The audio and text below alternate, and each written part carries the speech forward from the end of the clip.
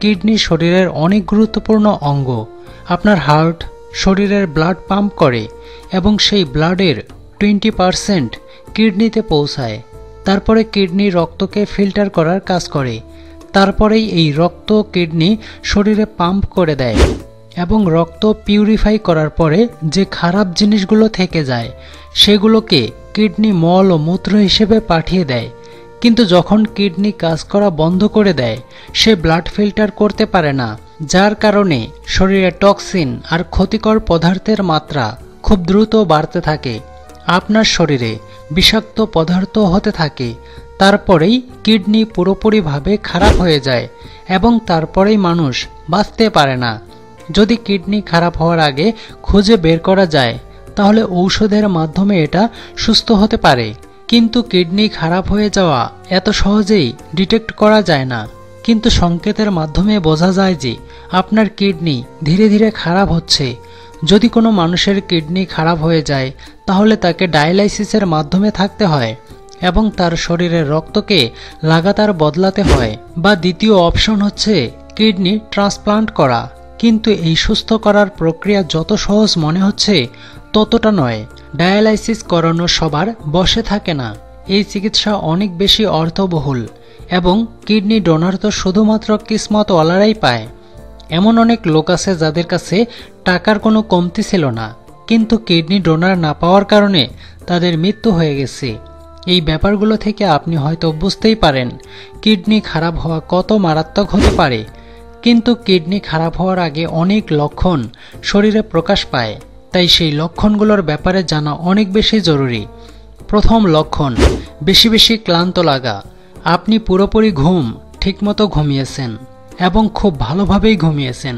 কিন্তু তারপরেও যদি আপনার ক্লান্ত লাগতে থাকে, তাহলে এটা একটা কারণ হতে পারে যে আপনার কিডনি ড্যামেজ হচ্ছে। আসলে যখন কিডনি খারাপ হতে থাকে, সেটা ব্লাডকে পুরোপুরিভাবে পিউরিফাই করতে পারে না। এরপরে রক্তে বিষাক্ত পদার্থ জমতে শুরু করে।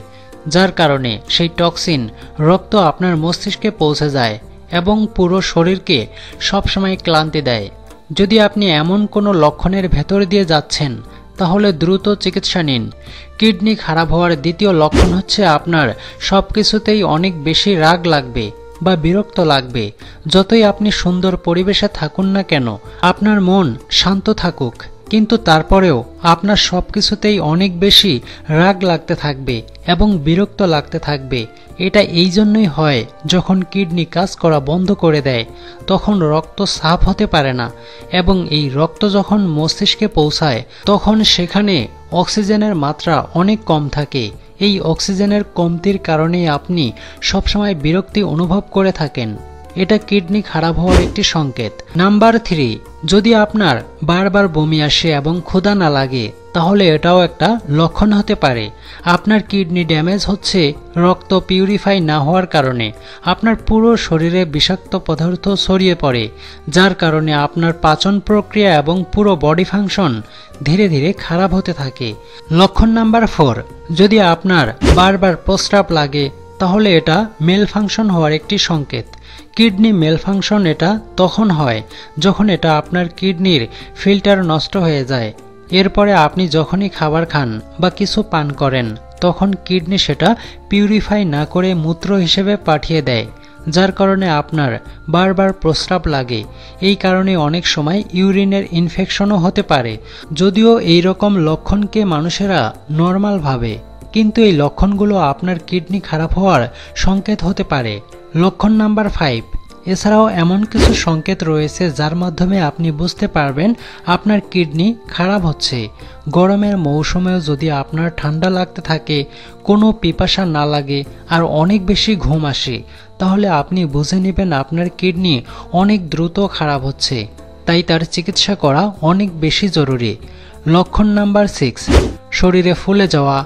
এটাও এক ধরনের লক্ষণ যা বলে আপনার কিডনি খারাপ হচ্ছে। আপনার চেহারা বা পায়ে যদি দেখা দেয় এই জায়গায়, সেই জায়গায় ফুলে যাচ্ছে, তাহলে হতে পারে আপনার কিডনিতে কোনো সমস্যা হচ্ছে। এটা এই জন্যই হয়, কারণ এটা আপনার শরীরে অতিরিক্ত পানি ও লবণ শরীর থেকে বের হতে পারে না, যার কারণে শরীরে ব্যথাও হতে পারে ও ফুলেও যেতে পারে। শরীরের ব্যথা অন্য কোনো কারণেও হয়, কিন্তু এমন কিছু যদি আপনার সাথে যদি হয়, তাহলে সেটা চিকিৎসা করানো বা পরীক্ষা করানো জরুরি। লক্ষণ নাম্বার সেভেন খুব বেশি হাই ব্লাড প্রেশার কিডনি খারাপ হওয়ার লক্ষণ। যদিও হাই ব্লাড প্রেশারের সমস্যা অনেক লোকের মধ্যেই দেখা যায় এবং বয়সের সাথে সাথেই হাই ব্লাড প্রেশারের সমস্যাও বাড়তে থাকে। কিন্তু আপনার বয়স যদি বেশি হয় এবং বারবার হাই ব্লাড প্রেশারের সমস্যা হতে থাকে, তাহলে আপনি একবার পরীক্ষা অবশ্যই করে নেবেন। লক্ষণ নাম্বার এইট আরেকটি রিসার্চে দেখা গেছে কীভাবে কিডনি দিন দিন খারাপ হতে থাকে। তেমনি রোগশোকও শরীরে বাসা বাঁধতে থাকে।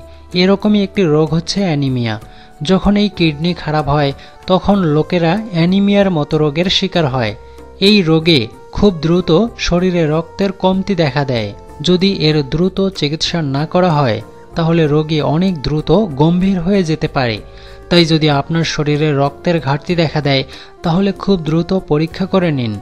কারণ এই রোগ দিন দিন বাড়তে থাকে। লক্ষণ নাম্বার নাইন। লাগাতার যদি আপনার শরীরে দাঁত চুলকানির র্যাশ হয়, তাহলে আপনার কিডনির সমস্যা হতে পারে।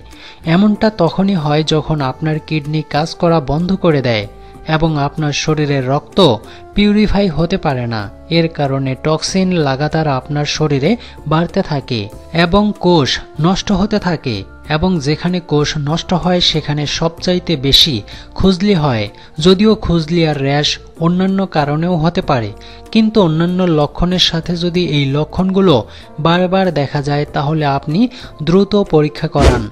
লক্ষণ নাম্বার টেন, প্রস্রাব করার সময় যদি আপনার বেশি জ্বালাপড়া করতে থাকে বা ব্যথা হয় বা আপনার প্রস্রাব খুব দ্রুত ডার্ক হচ্ছে, তাহলে খুব দ্রুত আপনার পরীক্ষা করাতে হবে, কারণ এই সংকেত বলে আপনার কিডনি ঠিকভাবে কাজ করছে না।